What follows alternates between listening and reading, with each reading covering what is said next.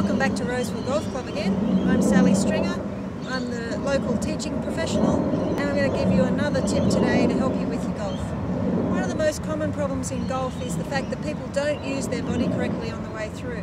They tend to just want to get up there and belt it with their arms. So this drill today is just a really simple one you can do at home. You make your normal golf swing, turning back, and as you come through, you must finish facing the target. And the idea of this drill is to be able to tap your toe. So if you look like this at the finish and your foot is down on the ground, you'll notice that I can't tap my toe.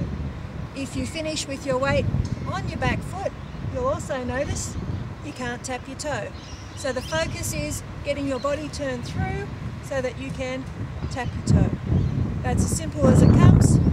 Go out, hit balls, practice swing at home, yourself tapping that toe, and your golf will improve. Thanks.